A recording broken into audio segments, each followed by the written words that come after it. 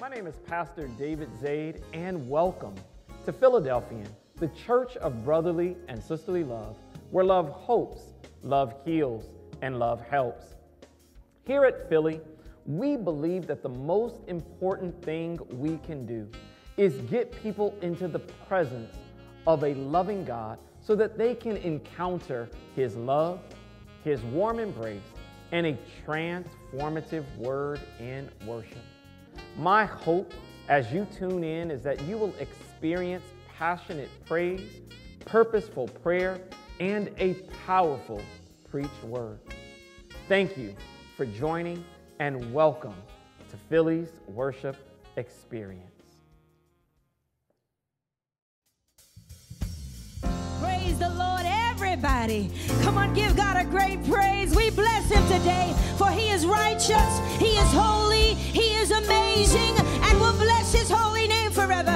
We glorify you, oh God. Yes, we do. Merciful Savior, merciful God, yeah. Come on, y'all say, oh.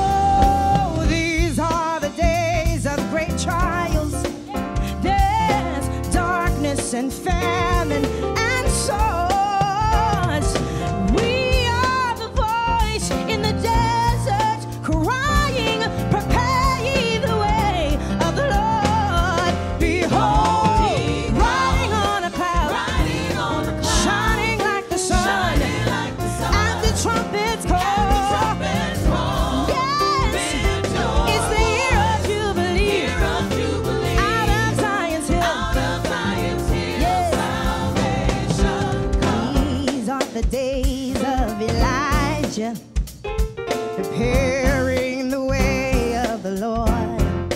Oh, and these are the days of your servant Moses, righteousness being restored. Though these are the days of great trials, there's darkness and famine and swords.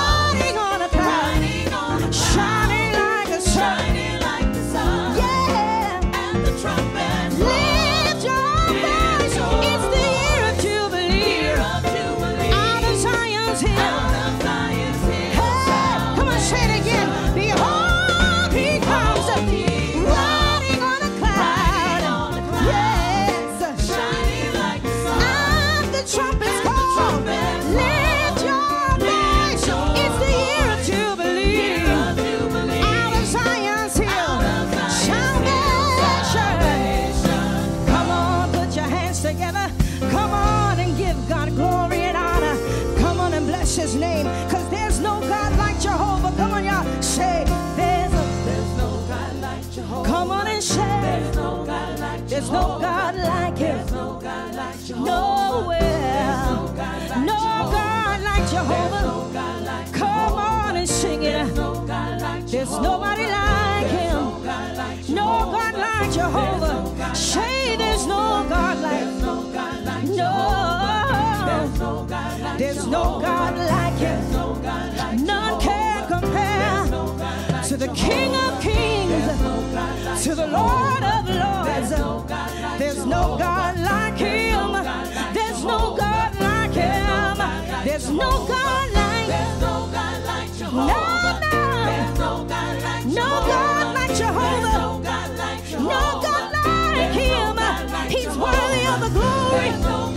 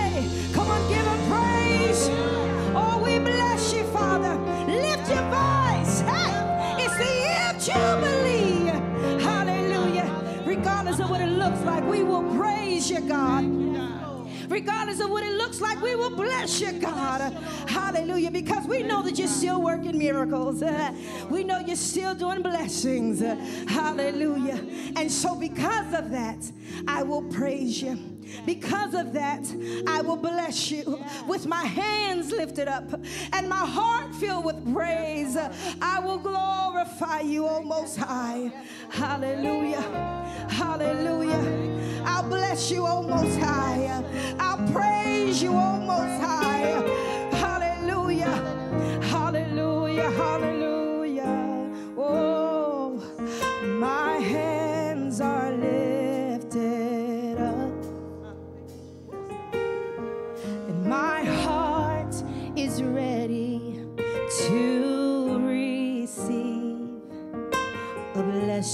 from you.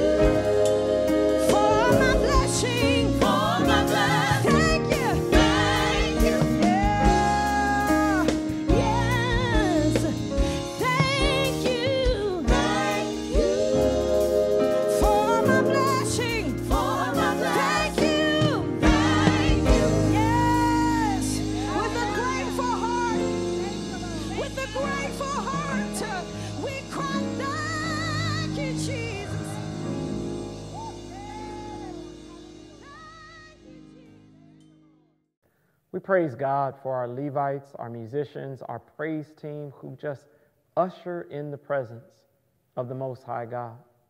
If it's all right with you, I want to go right into the Word because sometimes as you're reading the Word of God, God will just arrest your heart. You can read a phrase, you can read a verse, and God will pause you and ask, you a question. And that's exactly what happened to me as I was reading Luke chapter 13. Beginning at verse 5, it says, I tell you, no, but unless you repent, you will all likewise perish. He also spoke this parable. A certain man had a fig tree planted in his vineyard, and he, be, he came seeking fruit on it and found none. Then he said to the keeper of his vineyard, Look, for three years I have come seeking fruit on this fig tree and find none. Cut it down. Why does it use up the ground? But he answered and said to him, Sir, let it alone this also until I dig around it and fertilize it. If it bears fruit, well, but if it does not, after that you can cut it down. Without going too deep into this text, I want you to capture this. The fig tree gets one year to bear fruit. One more year, one opportunity. It gets a second chance to show some progress. The gardener chooses to dig around it to ensure that the water penetrates its roots. The gardener chooses fertilizer to ensure that it has all the proper nutrients. The gardener knew that the tree only had one year left. But the question that God dropped on me is would it have made a difference for the tree to know it had one more year to bear fruit? Would it have made a difference to the tree if it had knew that it was counting down the days that it had one year, and if it didn't, it was going to simply be cut down. And see, I'm asking that because, like the tree, we too live in troubled times, and sometimes we're not always able to read the signs all around us.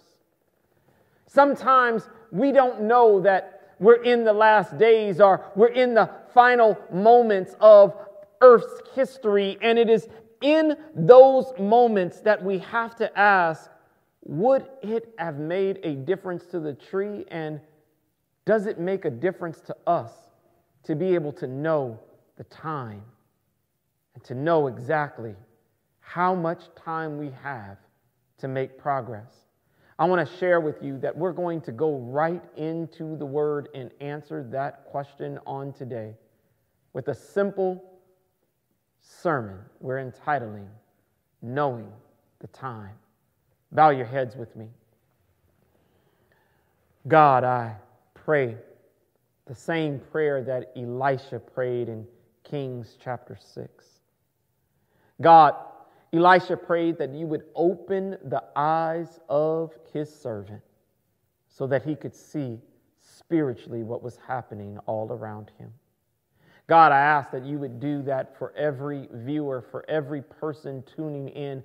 God, I ask that in a divine, supernatural way, that God, you would open our eyes so that we could read the times, we could read the seasons, and that God, we could bear fruit for you. Thank you for this word. This I pray in the precious name of Jesus. Amen. I want to go right into the word and explain a special anointing entitled the anointing that was on the tribe of Issachar, the men of Issachar. They had this tremendous ability to not only discern the signs and signs that were happening all around them, but they knew exactly what to do in those times. I can show you better than I can tell you, so turn with me right to 1 Chronicles 12 32. Here is what it reads it says, Of the sons of Issachar, who had understanding of the times to know what Israel ought to do. That's so nice, I need to read it twice. Let me read that again. Of the sons of Issachar, who had understanding of the times to know what Israel ought to do, their chief were 200, and all their brethren were at their command. I want you to just look at that phrase there in the text who had an understanding of the times and knew what Israel ought to do. See, the implication in the text here is if you know the times, you will know what to do. The reverse of that is also true. If you don't know the times, then how do you know what to do or how to act within those times? See, how do I operate within a given time if I don't know the time and I can't read the signs? I have to often realize that time is unforgiving. There are no do overs. There are no Groundhog's Day. I can't do like they did in the movie Back to the Future and go back in time and relive a day or redo a decision or redo an action. I get one shot. I get one moment. I get each day. I get a new opportunity and a second chance.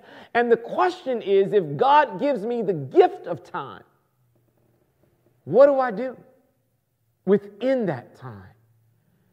And I want to share that because when the Word of God uses understanding the time, it means understanding the critical season, understanding what's happening in this present day, understanding this critical season, in reference to prophecy, understanding the Word of God, and being able to read the signs within the times all around us. See, no one uses summer chains during the summer, or winter chains, I mean, or snow chains is what I'm really referring to. No one uses snow chains in the middle of summer.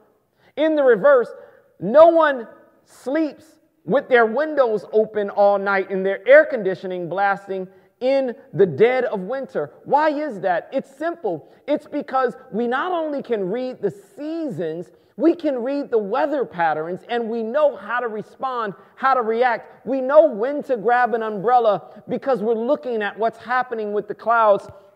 And in the same way, when we look at the signs and we realize the season that we're in, it should cause us to react and act differently. See, time is not always as easy as just looking at the weather. See, time is not an easy concept. It's often hard to comprehend because we understand time by looking at clocks, but philosophers debate and often do not agree with one way of describing time. What am I talking about? See, we often call out times like 4:30 or 11:20 and what we're actually doing is not defining time, we're calling out the measurements of time. We're talking about seconds that turn into minutes, and minutes that turn into hours, and hours that turn into days, and days that turn into weeks, and weeks that turn into months, and years, and decades, and centuries. These are all the measurements of time, and even when we refer to them, we're not as exact as we think. What do you mean? What I'm referring to is there are actually 23 hours, 56 minutes, and 4 seconds in a day, and we often round that up to 24.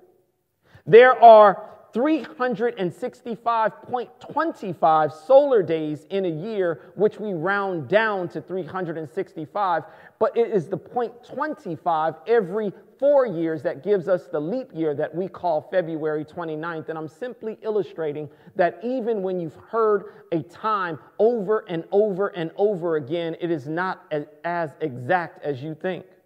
See, when the word talks about understanding the time, you can have the right opportunity at the wrong time. You can meet the right person at the wrong time. And you know what? it's not going to work. Because, see, to understand time, you have to know the God that created the time. You have to know not only God, you have to know not only the Word of God, but you have to know that He is the one that created the time. Time could be best defined like this it's the line in between two eternities, which has a beginning and an end. It's measured in seasons and in generations, and prophecy helps you understand where you are on the timeline. What eternities am I talking about? See, Adam and Eve were created to live and to live with God forever. They were actually created to live in eternity with God. When sin came into the world, all of a sudden we needed to start counting days. We needed to start counting hours and minutes. And Adam and Eve one day passed away. And everything has had since that day a beginning and an end, a season, an up and a down. It's the reason why we call God the Alpha and the Omega, because everything has a beginning and an end. And see, time is a tool that God uses. What am I under? What am I explaining? I'm simply explaining that God created time because time does not affect God the way that it affects us. God is from everlasting to everlasting. He does not have a birth date. And when asked about him, God says, just tell him, I am that I am. God is the one who stands on the outside of time in eternity and uses time to make every word that he speaks manifest itself. See, you have to understand that what the Bible is referring to here, you have to know the time, you have to know the timing of God, and you have to know why he created the time. See, God uses time as a tool like when he exclaimed, Let there be light, and boom, boom, boom, boom, boom, stars and planets were born all over. Light just continued to manifest itself and continue to show up and show out. See, You have to understand that God's word cannot return to him void, and God designed time for a specific reason. We see it in Ecclesiastes 3, verse 1. It says this To everything there is a season, a time for every purpose under heaven. Watch this. God uses time to fulfill purpose. And God can speak things into eternity that manifest itself in time. This is why God and only God can anoint you as king when you're still a child. Only God can call you more than a conqueror when you're still surrounded by your enemy. Only God can call you rich when you're still looking for a job. Only God can call you healed even though you're still grappling with an illness. Only God can call you delivered even though you're still stumbling with sin. You have to understand that what God speaks in eternity will manifest itself in time. And to understand time, you've got to know God who created time. You've got to have the ability to read the signs because the implication of the text is if I don't know the time, then I don't know how to act or respond within the time.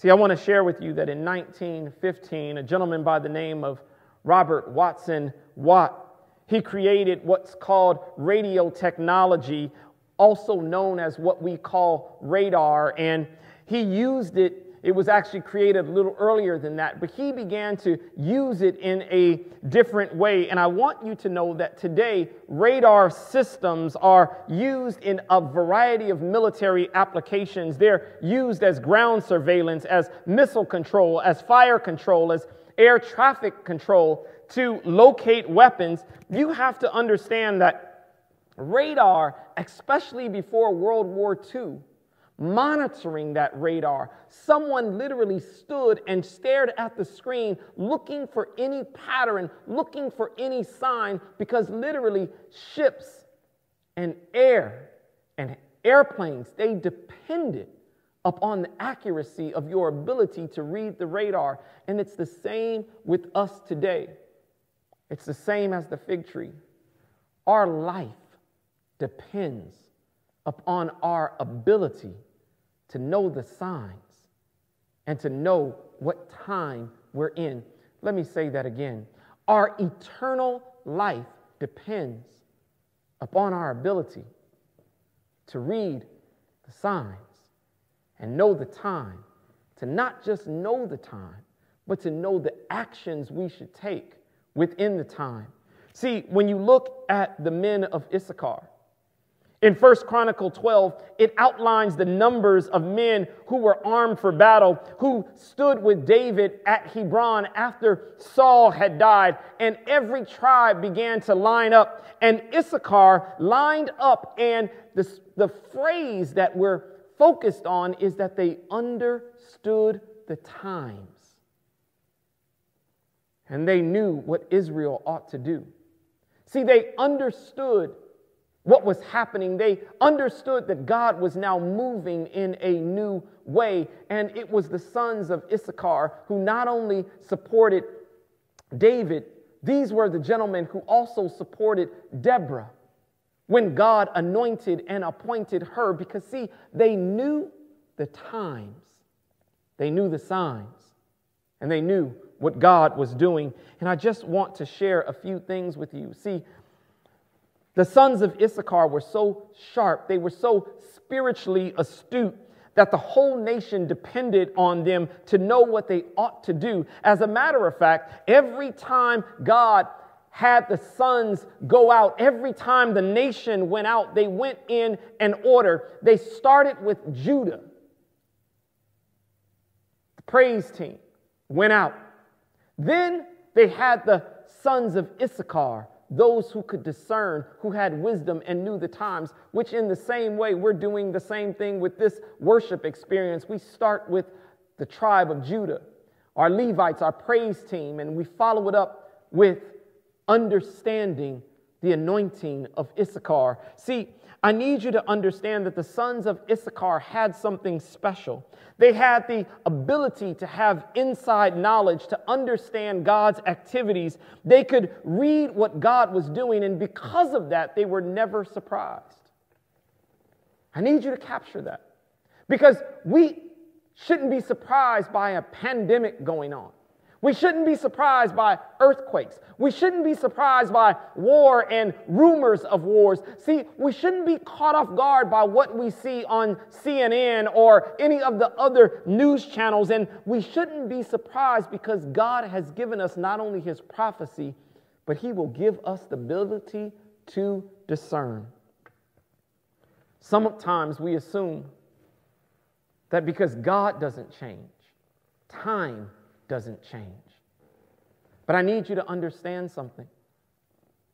While it's true that God doesn't change, times and seasons do change. And while we should never, ever change the good news or the message of God, our methods and our action in this present time must change. So I have just a few points for you. Point number one in order to have the anointing of Issachar, the first thing you need to do is know where God is moving. It says in the passage that the sons of Issachar knew the time, and they not only knew the time, they knew what to do. The men of Issachar not only supported Deborah, but they supported David. And you've got to understand that even when it's unpopular, they didn't focus on what man was doing, they focused on what God was doing. And here, as we're dealing with a pandemic, can you see what God is doing? Second, capture this. I need you to capture this. Don't reflect the time, use the time. Let me say that again. Don't reflect the time, use the time. What am I talking about? The sons of Issachar, they understood the political times, they understood the public affairs, they understood the temperament of the nations and the tendencies and patterns of present things that were happening.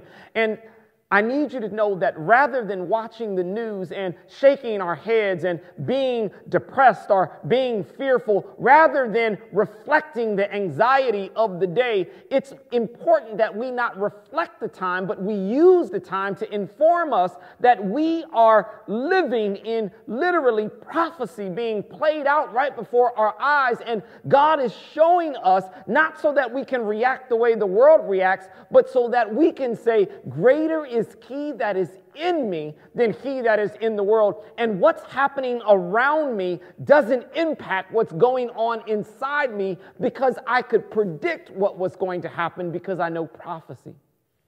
Because as sure as I know that it's going to rain, I know that God is on his way back and everything he said must come to pass because God stands on the outside of eternity and he allows everything to be manifested in time. So nothing catches me off guard, nothing surprises me. And instead of reflecting the times, I reflect the God who created time. And I need you to capture that. And to do that, you have to understand point three.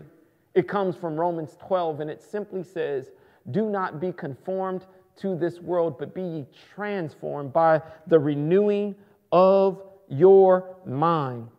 Watch this. Sometimes we have to ask ourselves are we following the anointed direction of God? Do we know how God is moving? See, I started with the question if the fig tree knew what the gardener knew, would it have done something different? Well, I have to ask you the same thing. How could the tree have been so close to the gardener that it knew to bear fruit? Here's the real question How can you and I be so close to God that we're walking with God, reading His Word, spending time? We're so close to God that we see the move of God. Then we reflect God instead of reflecting the time. And last but not least, we allow us to not be conformed, but to be transformed by the renewing of our minds. See, I need you to understand that if the fig tree had just known the signs, it probably would have done something differently. And I ask you, if you knew that on that timeline of eternity, we were right at the end, would you do something differently? I want to conclude with this story and share with you that a student performance had taken place. A student had been learning the violin and had gotten to the place where he had become professional, had moved to the place where he got his first opportunity to have a concert, and not only to have a concert, but to do it in a large hall with over 2,000 seats. Excited about this special day, he practiced, and it finally came the day of the concert. And on the day of the concert, he played his heart out.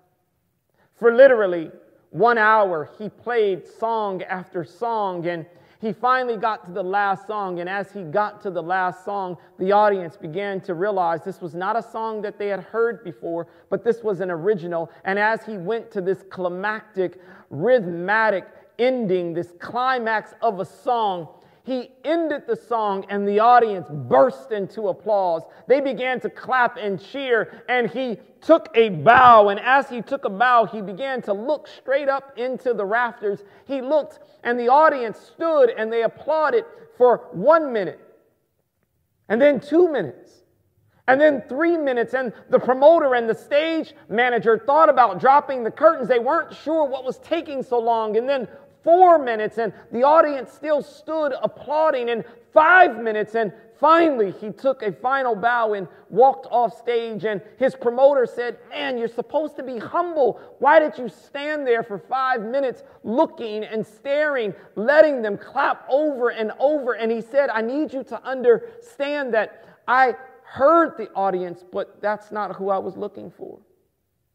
See, the person who taught me how to play a violin, my first instructor who started with me at age seven, was sitting high in the balcony.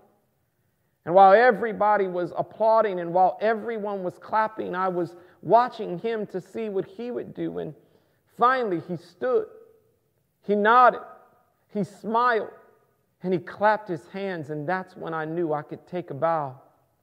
That's when I knew I had done what I was supposed to do.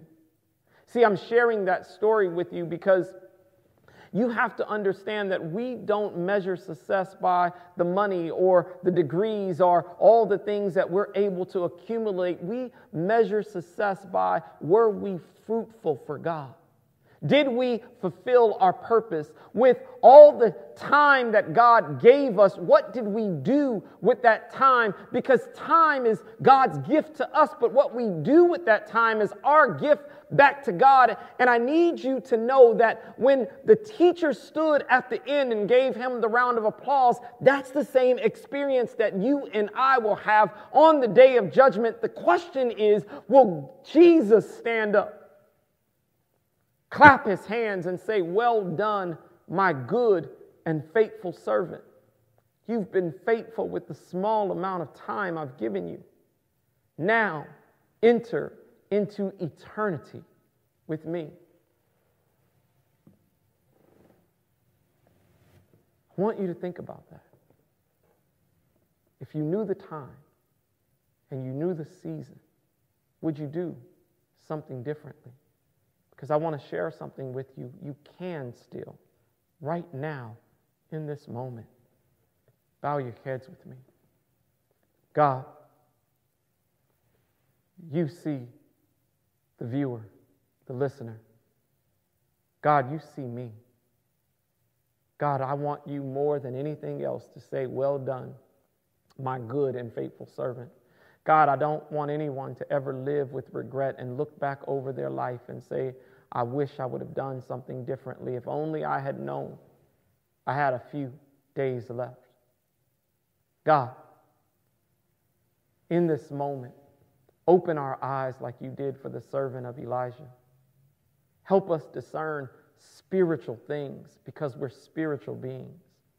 God, I ask that you would show us that we are in the last days. And God, let us give our hearts and our life to you because all we care about is that you say, Well done, my good and faithful servant. For someone who needs to give their heart to you, God, just let them do that in this moment. Bless them, God, and remind them that they are saved in this moment. This we pray in the precious name of Jesus. Amen. Thank you for joining Philly's worship experience. We hope that you were blessed by the transformative word and the purposeful praise. You can tune in each week at phillysda.org. It's the place where you can see our ministries, keep track of our current events, and support us through online giving. Each week, we conclude our service in a special way. We simply say, May the God of hope fill you with all joy and peace as you trust in him, so that you may overflow with hope by the power of the Holy Spirit. Again, we want to thank you for joining us, and we look forward to seeing you next week. Be blessed.